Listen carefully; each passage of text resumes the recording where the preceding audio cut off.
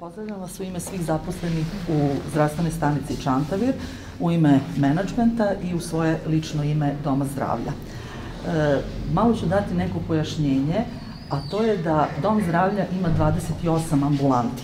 Od toga je 15 u gradu, a 13 je van grada. E, dve ambulante nam u suštini nisu ambulante, nego se vode kao zdravstvene stanice, a to je zdravstvena stanica Bajmog i zdravstvena stanica Čantavir, zato što one pružaju usluge preko 7000 žitelja, stanovnika što Čantavira, što Bajmoka. Zdravstvena stanica podrazumeva malo specifičniji način rada, to jest zdravstvena stanica radi 24 sata. Od 7 sati ujutru do 20 časova uveče rade lekari opšte medicine, dva, dva lekara prepodne, dva lekara popodne. Imamo pedijatra koji radi po određenom režimu rada i stomatologa koji radi po određenom režimu rada.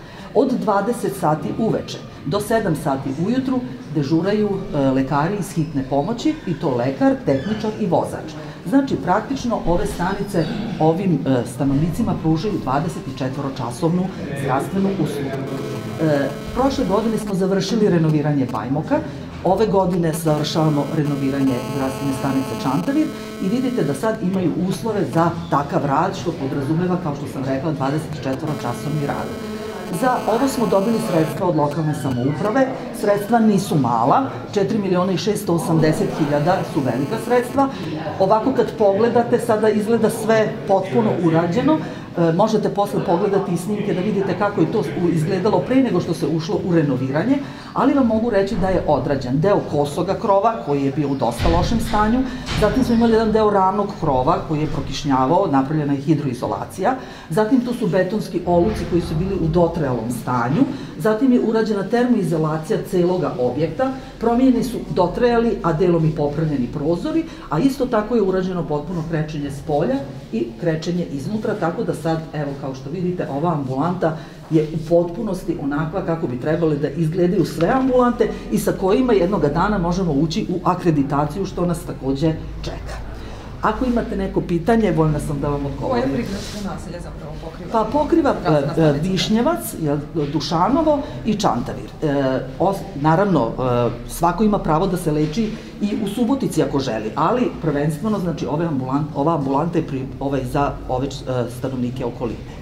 Koliko ima uh, zaposlenih uh, u ambulanti i koji je to broj stanovnika, otprilike koji da, se leči ovdje? Pa, da. otprilike tu negde od odraslog stanovništva je negde preko 4000, A ono što je značajno jeste da imamo dva lekara prepodne, znači dva lekara popodne, kao što sam rekla, jednog pedijatra, jednog stomatologa i imamo e, iz hitne medicinske pomoći lekara koji celu noć dežuraju i naravno vikendom, znači od 14 časova subotom do ponedeljka do 7 sati su tu lekari iz hitne medicinske pomoći pošto smo čuli da će u toku naredne godine biti obezbeđena sredstva za nabavku vozila za hitnu medicinsku pomoć, interesu nas koliko sada služba za hitnu medicinsku pomoć, sa koliko vozila raspolaže? Pa mi imamo negde preko 20 vozila, međutim nisu sva u takvom stanju, e, ipak se vozila, jako puno kilometara prelaze, tako da mi planiramo bar u dve godine svaki, da, da dobijemo bar jedno novo vozilo. Tako da nam je cilj da i sledeće godine tražimo novo vozilo, baš zbog toga, jer ušli smo i u taj program STEMI, to znate da je jako dobro, jer pacijente sa akutnim infarktom miokarda nosimo direktno u e, Sremsku kamenicu, gde je onda i samo oštećenje srca mnogo manje, tako da je to jedan projekat koji ćemo nastaviti i dalje da radimo. Tako da mislim da što se tiče opreme tu smo negde, ali ćemo gledati da je stalno obnavljamo. Ono što još mogu reći za sledeću godinu što nismo odradili na ovom objektu, to je prilazna rampa za invalide. Videli ste da postoji jedna, ali nije adekvatna i to ćemo odraditi.